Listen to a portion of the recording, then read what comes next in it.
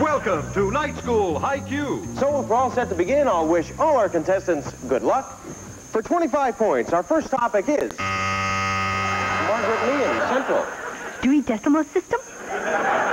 No, Margaret, uh, I'm afraid that answer is incorrect, but of course you didn't let me finish the question. The topic is motor mechanics. Now, for 25 points, what is Margaret Meehan, Central? Backseat driving?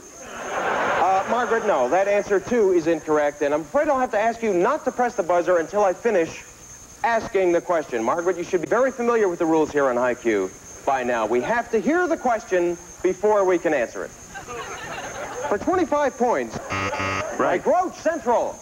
What? You buzzed? No. My mistake, I'm sorry. Did okay. somebody accidentally press their buzzer there?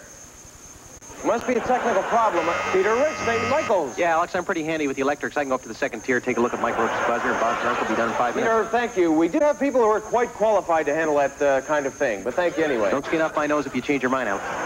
Mike Roach, Central. What? Mike, you just pressed your buzzer this time. No, I didn't really. Disconnect his buzzer.